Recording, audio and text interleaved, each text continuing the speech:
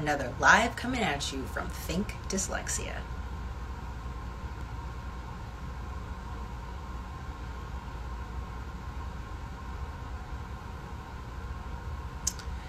Hello, hello.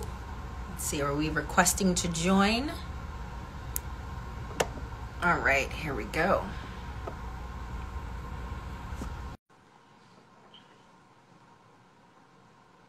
All right, we are waiting for our connection.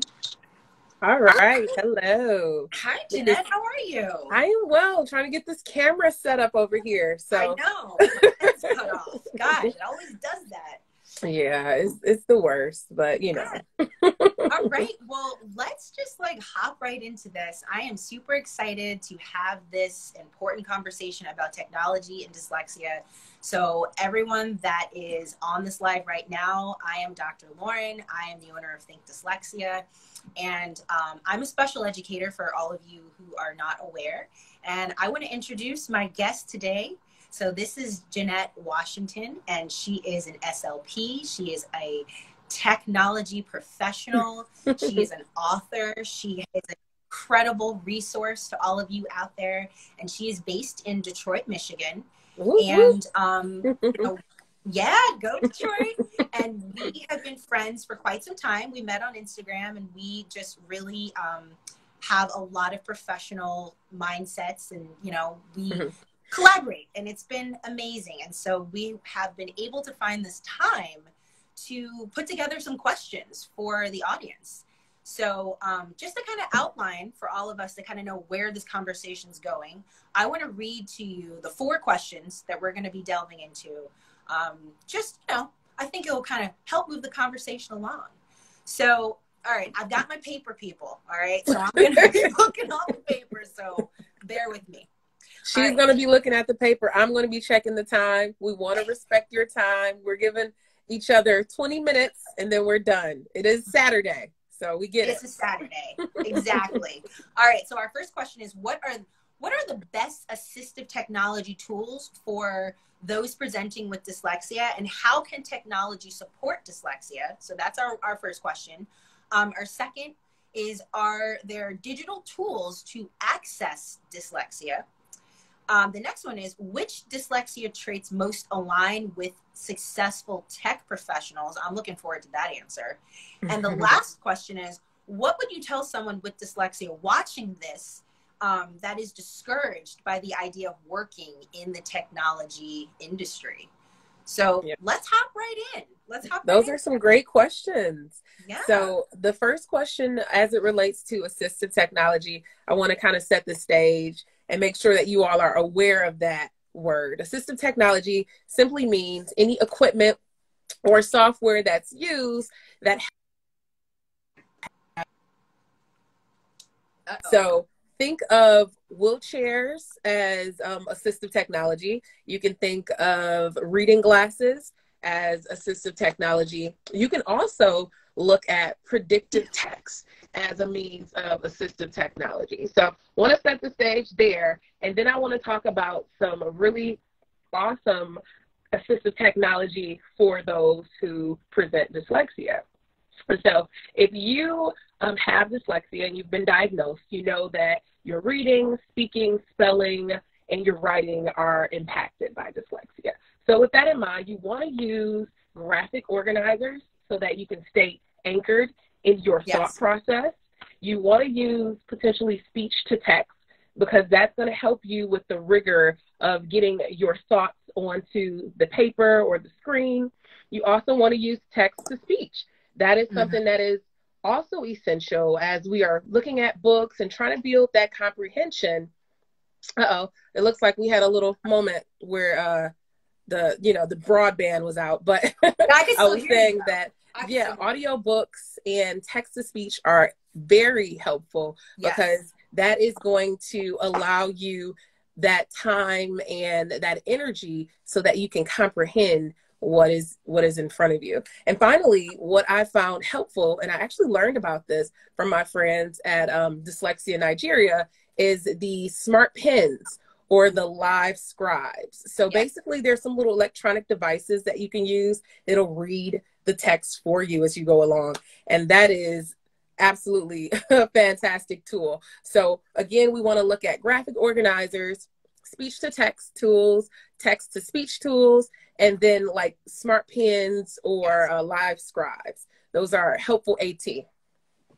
That's uh, honestly, that's amazing. And I feel like these are some tools that even classroom teachers probably mm-hmm. don't realize could be really helpful, mm-hmm. obviously mm-hmm. for students with dyslexia, but also for all students.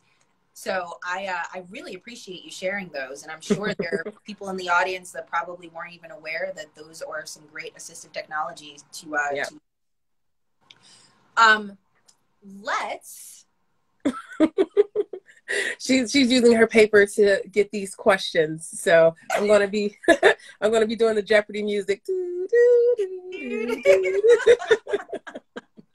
So I feel like you kind of answered number two. Are mm-hmm. are there digital uh, tools to access dyslexia? So I think you did share that. Mm-hmm. Um, could you delve more into the dyslexia traits that most align with the successful tech professional? So what would be a tech? Okay, so the dyslexia traits that most um, align with tech professionals um, is uh, one of the great questions that I offered during this interview because I think it definitely falls into the category with my book technical yeah. difficulties why dyslexic narratives matter in tech i know it's mirrored but um, yeah. the, the quote i have in my book is technology will only be as good as the person it does the least for so with that in mind it is so important to have dyslexics at the table sharing their narratives so that we can create technology that will exceed our own imaginations whether we are typical learning typically developing or we're atypical so some of the traits are going to be innovation. We've seen time and time again how people that fall into that dyslexia continuum are innovators. Um, we look at the fact that they are empathy led. So they're able to really address problems um, by using their um, their empathy, by really being intuitive and understanding what needs to go on based on what problems exist. Next, we know that um, in the classroom, those with dyslexia are re engineering, they're hacking their way to learning because. Um, oh, no. They understand. Uh-huh. Would you say, Lauren? No, I said I think there was a connection issue again. Yeah, it happens. This is the technology age. Oh.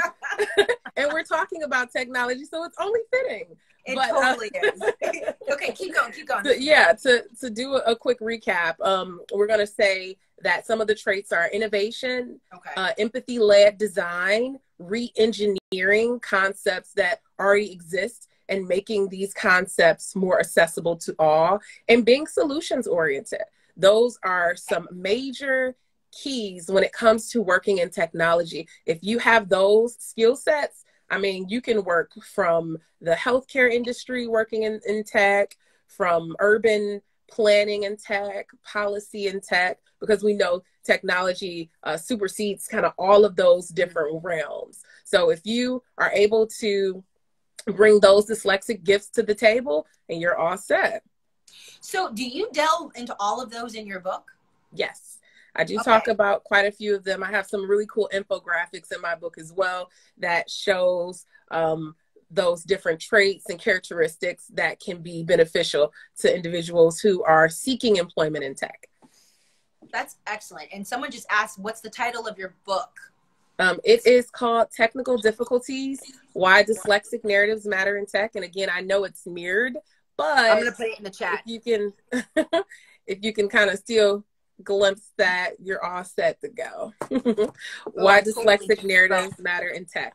Yeah, I spelled technical wrong. Sorry, guys. I'll, listen, I will. Um, oh, we can't do links on Instagram. Well, anyway, you can always go to Jeannette's page because I know you are always like putting out mm-hmm. commercials for your book. So yeah. definitely shoot her a DM for the link because I know you have it on Amazon as well. Mm-hmm.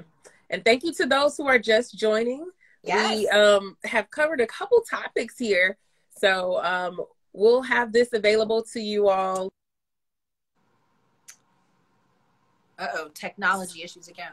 If you if you were late joining in, you'll be able to to see some of this insight later on today.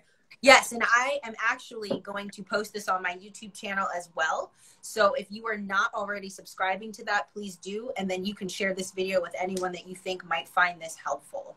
Agreed. So, yes.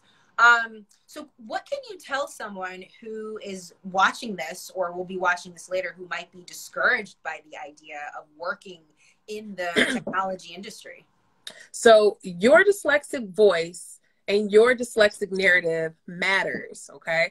It is very essential that you take the triumphs and the challenges that you've had and you utilize it to help build a better strength based workforce. So, um, as I mentioned, any industry from healthcare to um, biometrics to um, urban planning and, and city policy is going to need your dyslexic voice.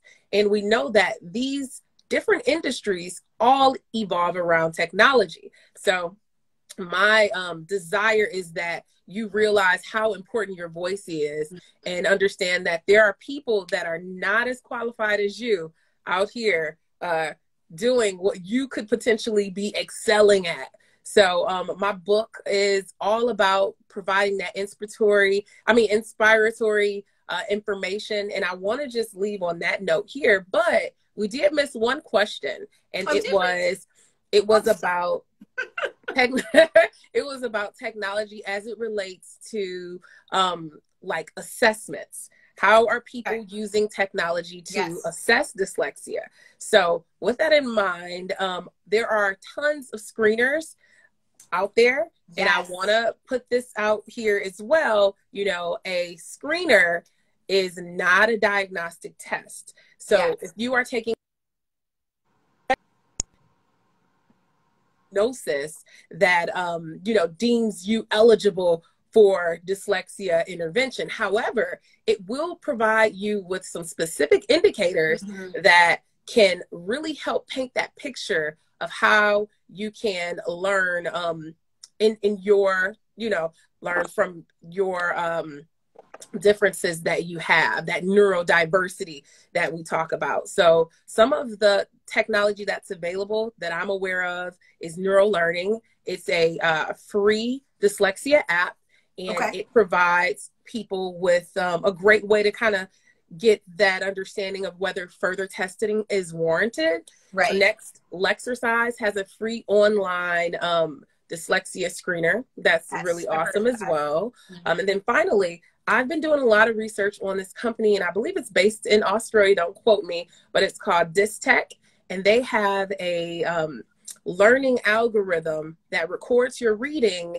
and provides you with more insight on whether testing should take place to oh, acknowledge the presence of dyslexia. So there are some really wow. great tools out there, you all. Google is your friend. Don't ever feel or or Bing or um Go Ducky. I think is the uh, other search engine, but never feel ashamed to hop on uh, your favorite search engine and check out what exists or just kind of google me or something and or google lauren. Absolutely. No you know what? I, I do want to say that we will i will be posting um, jeannette's uh, screener her, her, Bearly Articulating uh, dyslexia screener on my youtube channel. So please please please later on i will be letting everyone know when it's premiering. You can click her links her bios. Um, you're on twitter you're on linkedin. So please please she's an excellent resource and i'm i'm learning a lot too i mean you yes. really are a professional facilitate events. I love to um to do my research so i'm well versed in the technology as it's evolving because as we're speaking somebody is creating some type of tool that is going to assist us all so um yes. just always be learning that's that's a mindset absolutely yeah so this this was super beneficial and um, amazing. I mean, is there anything else we should touch on? I think we kind of touched on everything. um, bing bang boom. we we may we may have to do it uh, another one. You know, we might have to hit you all with an encore. But just let us know in the Uh, oh, hit us up, give us a line, drop us a line. Drop if us you... a line. let us know. Drop us a line. You can, um, you know, let us know. And I think for our Instagram audience, I don't know, Jeannette. I think maybe we should put out some uh, collaborative posts. We may have to. Yes, I'm, I'm seeing a lot of hearts. I don't I'm I don't know. yes, I think we would and I think it would be helpful for people to have this in writing to kind of remember some of the key points, some of those apps that you suggested. So I think that that would be an excellent idea. For okay. Sure. Well, thanks for having me. It was yeah. a absolute pleasure being on your platform, your stage. Yes, thanks thank for, for letting me up. Absolutely. Thank you for finding the time and sharing your wealth of knowledge with everyone. Mm-hmm. This was amazing. All righty. So I think our 20 minutes is up, you guys.